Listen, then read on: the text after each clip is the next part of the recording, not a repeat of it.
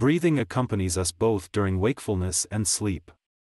We all know that we can survive for some time without food, a few days without water, but only a few minutes without breathing.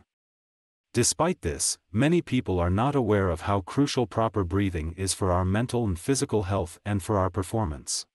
Breathing is unique among the functions of our body and brain because it lies at the boundary of our conscious and subconscious behavior. At any moment, we can consciously take control of how we breathe, which is an extraordinary feature of our brain. By changing our breathing pattern, we can quickly influence what our brain is capable of. For example, during inhalation, we are better at learning and remembering information than during exhalation. Breathing is also crucial for our mental and physical work.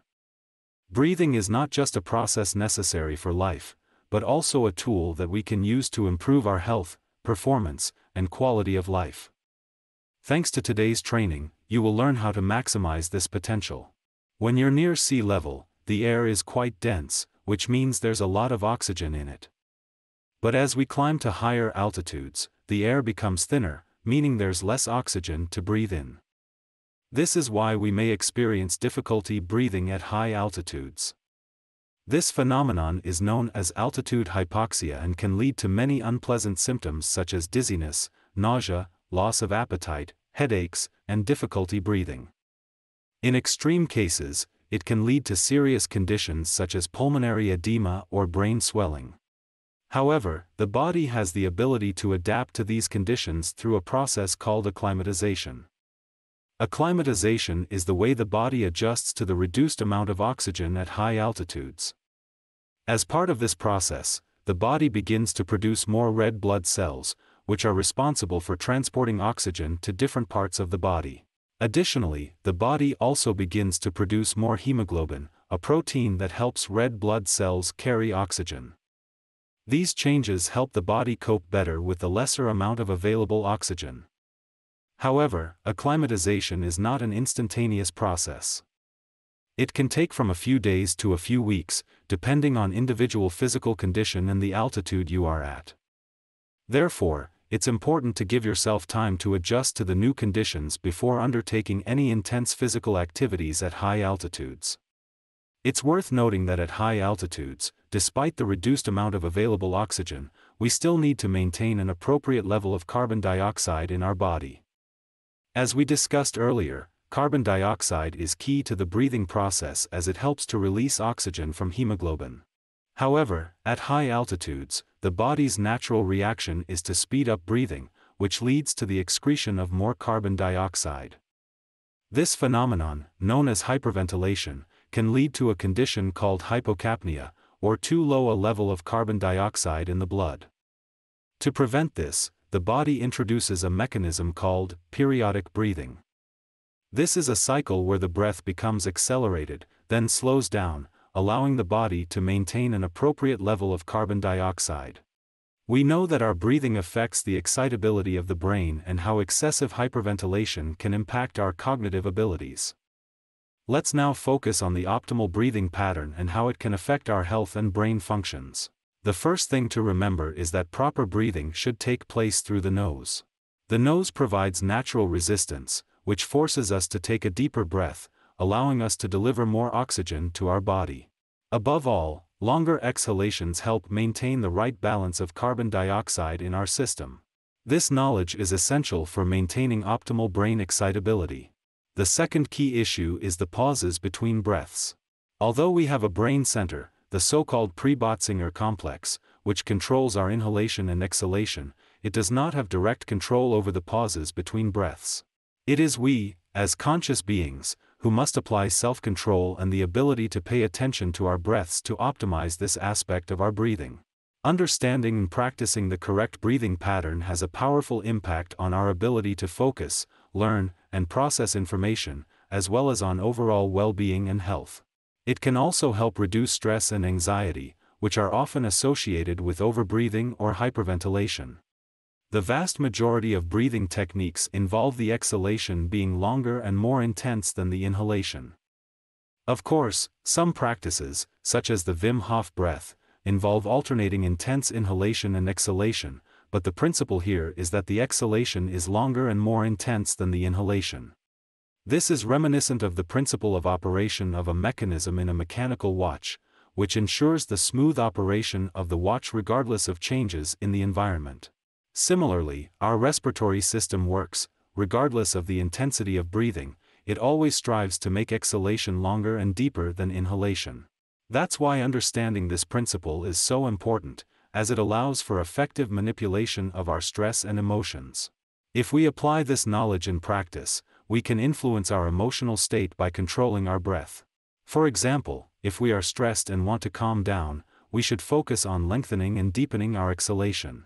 In this way, we will be able to slow down our heart rate and put our body in a state of relaxation. On the other hand, if we are sleepy or feel sluggish, we should focus on intense and long inhalation. In this way, we will speed up our heart rate, increase our alertness, and stimulate our body to action. Additionally, it is important to understand that it is not just about the length of exhalation compared to inhalation, but also about the force with which we do it. So if we want to calm down, we should exhale longer and more intensely, and if we want to stimulate, we should inhale longer and more intensely. In conclusion, understanding the principle that exhalation is longer and more intense than inhalation allows us to effectively manipulate our stress level and emotions through control of our breath. That's why breathing techniques, like the ones we discussed today, are so important for our health and well being. Most of us inhale actively, but exhale passively. We let the air escape from us spontaneously, at any rate. This is a mistake. To gain full control over our breath, we need to learn to exhale actively.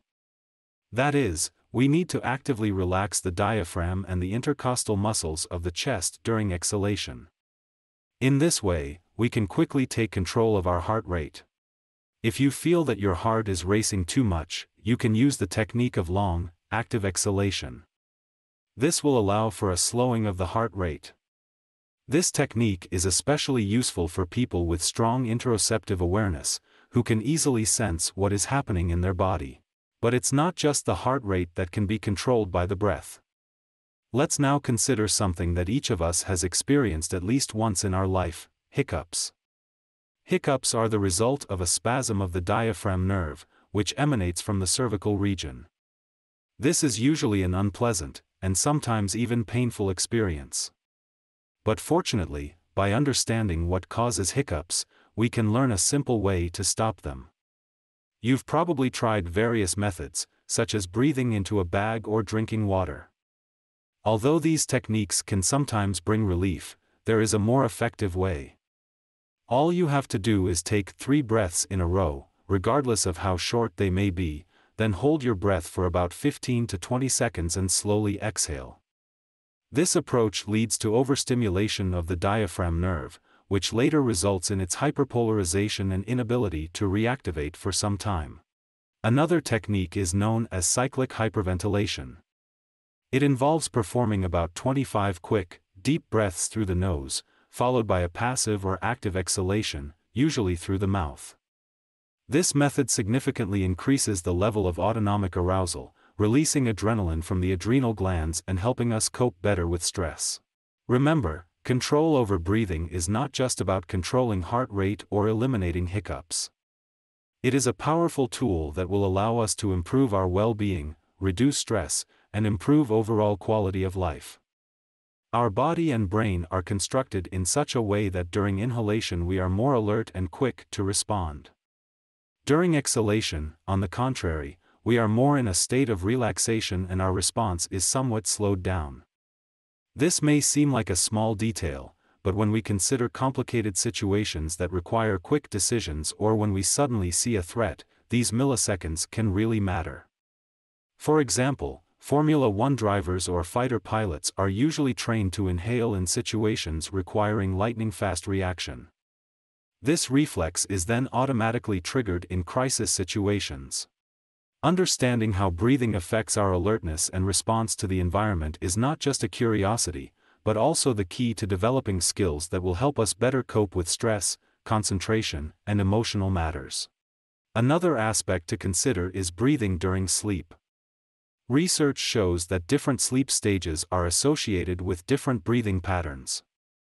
During REM sleep, when we usually have the most intense dreams, our breathing becomes irregular and accelerates, while during deep sleep we breathe slowly and regularly. Understanding breathing patterns during sleep can help us better understand how our brain works during different sleep stages.